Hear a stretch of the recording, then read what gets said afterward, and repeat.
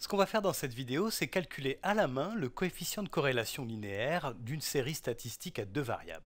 Ici, on a donc une série statistique à deux variables x et y, et on a placé les points de coordonnées x, y, ici pour obtenir ce nuage de points.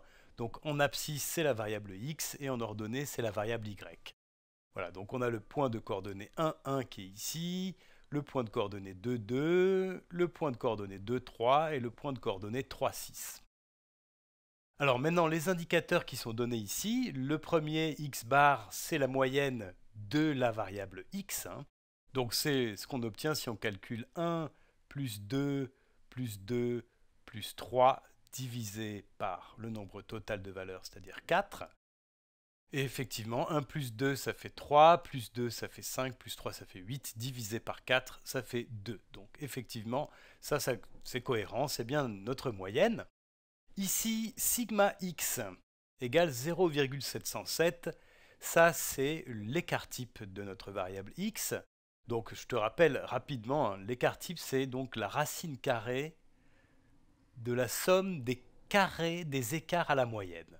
Donc ici on doit calculer la racine carrée de chaque écart par rapport à la moyenne élevé au carré. Donc si je prends la première valeur, c'est 1, et son écart par rapport à la moyenne, c'est 1 moins 2 que j'élève au carré.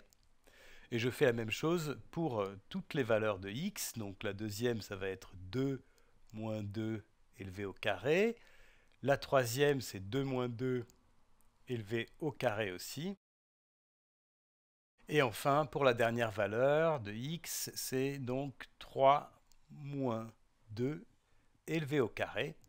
Et je dois diviser tout ça par le nombre total de valeurs qui ici est 4. Voilà, donc ça c'est le calcul, hein. c'est la racine carrée de la variance, et la variance c'est la moyenne des carrés des écarts par rapport à la valeur moyenne de la variable.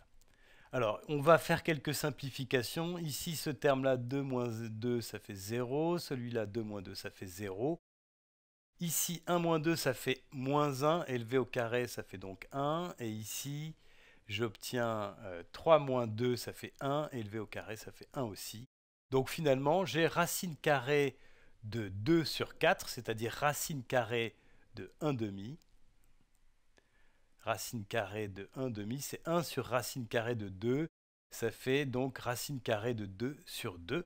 Bon, ça c'est une valeur assez célèbre. Ça fait effectivement 0,707. Si tu veux, on peut le vérifier. Alors, racine carrée de 2 divisé par 2. Et ça fait effectivement à peu près 0,707. Voilà, donc ça, c'est ces indicateurs-là qui concernent la variable x. Maintenant, je vais regarder à quoi correspondent ces indicateurs-là. y bar, c'est la moyenne de la variable y, on peut le vérifier. Alors, 1 plus 2 plus 3 plus 6 divisé par le nombre total de valeurs qui est 4. 1 plus 2, ça fait 3, plus 3, ça fait 6. Plus 6, ça fait 12. 12 divisé par 4, ça fait bien 3. Donc ça, c'est cohérent. Et comme tout à l'heure, sigma y, c'est l'écart type de la variable y. Alors c'est la racine carrée de la moyenne des carrés des écarts par rapport à la moyenne. Comme tout à l'heure, je vais le calculer. Donc c'est racine carrée de 1 moins 3 au carré plus 2 moins 3 au carré plus 3 moins 3 au carré, plus la dernière valeur, 6 moins 3 au carré, divisé par le nombre total de valeurs, qui est 4. Et donc ici, j'ai 1 moins 3 qui est égal à moins 2 élevé au carré, ça fait 4. Ici, j'ai moins 1 élevé au carré, ça fait 1. Et ici, j'ai 0, ce terme-là, 3 moins 3 élevé au carré. Et ici, j'ai 6 moins 3 qui est égal à 3 élevé au carré, ça fait 9. Et donc finalement, l'écart type, c'est racine carrée de... Alors, j'ai 4 plus 1 plus 9, ça fait 5 plus 9, ça fait 14. Racine carrée de 14 sur 4. Alors, je vais le calculer avec la calculatrice. Racine carrée de 14 divisé par 4. Et ça donne, voilà, 1,871 à peu près. C'est ce qui est donné ici avec un, un petit peu d'arrondi. Alors maintenant, on a tout ce qu'il faut pour calculer le coefficient de corrélation linéaire qui existe entre x et y. Évidemment, il faut se souvenir des formules qui permettent de le calculer.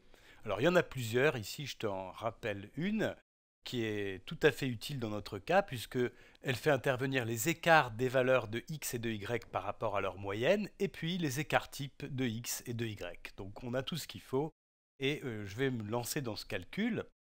Donc R c'est égal à, je l'écris ici parce que ça va être un petit peu long, donc n ici, petit n c'est le nombre de valeurs, j'en ai 4, donc c'est 1 quart fois alors, ici, je vais mettre entre crochets, pour la première valeur de x, l'écart par rapport à, la moyenne, donc c'est 1 moins 2, qui est la moyenne des x, et la même chose pour la première valeur des y, qui est 1 moins la moyenne des y, 3.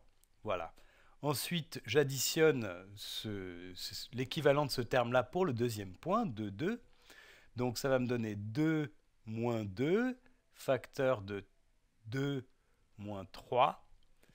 Ici, c'est l'écart de la deuxième valeur des x par rapport à sa moyenne. Et là, c'est l'écart de la deuxième valeur de y par rapport à la moyenne des y. Plus ensuite, pour le troisième point, donc j'ai 2 moins 2 facteur de 3 moins 3 pour ce troisième point. Et enfin, le dernier point, j'ai 3 moins 2 facteur de 6 moins 3. Voilà, je ferme le crochet et je dois diviser tout ça par le produit de mes écarts types, donc par 0,707 fois 1,871. Alors je vais faire quelques simplifications puisqu'il y a des choses assez faciles à calculer ici. 1 moins 2 ici ça fait moins 1, là j'ai moins 2, donc ici en fait c'est moins 1 fois moins 2, ça fait 2. Ce terme-là, c'est 2. Ici, 2 moins 2, ça fait 0, donc ça, ça s'en va. Ici, ça s'en va aussi. 2 moins 2, ça fait 0. 3 moins 3 aussi. Et là, j'ai 1. 3 moins 2, ça fait 1. Fois 6 moins 3 fois 3. Donc 1 fois 3, ici, ça fait 3. Donc mon numérateur, c'est 5 quarts. Alors, je vais prendre la calculatrice maintenant. Donc au numérateur, j'ai 5 quarts. 5 quarts, c'est 1 0,25 que je dois diviser par le produit de mes écarts types, donc par 0,707 fois 1,871. Euh, voilà. Et ça me donne environ 0,94. Donc ici, je trouve que R est égal à environ 0,94. Voilà. Alors ce coefficient de corrélation linéaire entre la variable x et la variable y, en fait, c'est une mesure de la possibilité d'exprimer la relation entre y et x comme une relation affine. Donc finalement, ça donne une idée de savoir si on peut euh, remplacer notre nuage de points par une droite. Alors quoi qu'il arrive, le coefficient de corrélation linéaire est plus grand que moins 1. Il est plus grand que moins 1 et il est plus petit que 1. Et si R est égal à 1, eh bien ça veut dire que notre relation entre Y et, X est une relation affine croissante, c'est-à-dire qu'on a une droite qui monte, une droite de pente positive, et les points sont parfaitement alignés. Ça c'est le cas où le coefficient de corrélation linéaire est égal à 1, s'il est égal à moins 1, eh bien on a une relation affine aussi entre la variable x et la variable y, mais euh, de pente négative. Alors par contre, si r est égal à 0, ça veut dire qu'on ne peut absolument pas euh, modéliser la relation qui existe entre x et y par une fonction affine.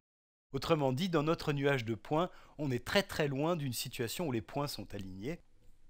Voilà, donc l'idée c'est celle-là, notre coefficient de corrélation, il mesure en fait le, degré d'alignement des points de mon nuage de points.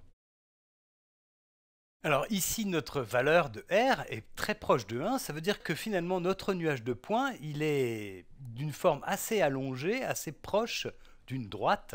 Donc on, va le faire, hein. je vais essayer de tracer une droite qui passe le plus près possible de tous ces points.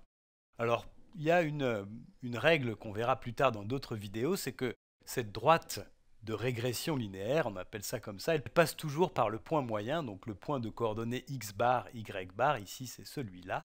Donc il faut que j'arrive à tracer une droite qui passe par ce point-là et qui passe aussi le plus près possible de mes points. Alors je vais le faire comme ça. Je vais la faire passer ici. Et puis je vais déplacer, euh, voilà, je vais faire quelque chose comme ça. Je vais tracer cette droite ici. Voilà, tu vois, là j'ai tracé une droite qui passe, pas par tous les points évidemment, mais plus près possible de mes points là. C'est-à-dire que si je remplace mes valeurs réelles de x et y par les valeurs théoriques données par cette droite-là, eh bien je ne serai pas très loin du compte. Alors évidemment, la droite ne passe pas par tous ces points-là. Si elle passait par tous ces points-là, ça veut dire que mes points seraient tous annihilés, donc j'aurais un coefficient de corrélation linéaire égal à 1. 1 parce que ici, euh, la pente est positive. Voilà, donc ça, ça donne quand même une idée de la signification de ce coefficient de corrélation linéaire. Et en fait, sans rentrer trop dans les détails, on peut essayer de comprendre un petit peu cette formule-là en termes de contribution à notre coefficient de, corrélation linéaire. Ici, je vais tracer les droites qui correspondent à mes, moyennes. Donc la droite x égale 2, qui est celle-là, qui correspond à la moyenne de la variable x. Et puis ici, la euh, droite y égale 3, qui correspond à la moyenne des y. Et en fait, ce que je vais faire, c'est regarder ces termes-là. Je m'occupe pas trop, bon, il faudrait parler en termes de variables centrées réduites pour s'occuper aussi des, des écarts types.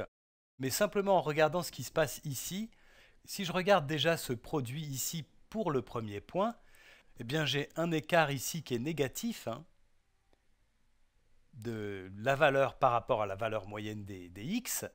Donc on pourrait penser que ça, ça va enlever un peu de notre coefficient r. Mais en fait, ce qui se passe, c'est que cette partie-là est négative aussi, hein, puisque ici, je suis en dessous aussi de la valeur moyenne des y. Donc finalement, j'ai quelque chose de négatif fois quelque chose de négatif, ce qui fait que ce terme-là, en fait, a une contribution positive à notre coefficient R, donc il va plutôt contribuer à faire que notre coefficient se rapproche de 1. Si je regarde maintenant ce deuxième point qui est ici, eh bien en fait, pour la variable ix, euh, ce terme-là n'a aucune contribution puisque cette valeur-là est égale à sa moyenne, donc ce terme-là s'annule. Et on pourrait penser que du coup, il n'y a aucune contribution au coefficient de, de corrélation, mais en fait, c'est pas vrai puisque on a effectivement une valeur qui est nulle, mais on divise toujours par le même nombre de valeurs. Donc finalement, cette valeur-là, ici, elle contribue plutôt à diminuer notre coefficient de corrélation linéaire. Voilà. Alors, rapidement, si je prenais un point ici, par exemple, ce point-là, eh bien, il est au-dessus de la moyenne des x et il est en dessous de la moyenne des y. Donc ce point-là aurait une contribution négative à notre coefficient de corrélation puisque euh, le produit serait négatif, donc on enlèverait de la valeur AR. Et si on avait par exemple un point eh bien ce point contribuerait à diminuer encore plus le coefficient de corrélation, puisque ici on a, on a une valeur, un écart positif par rapport à la moyenne en termes de x, mais un écart négatif par rapport à la moyenne en termes de y. Donc ici, on aurait de nouveau une valeur négative qui donc contribue à diminuer le coefficient de, corrélation.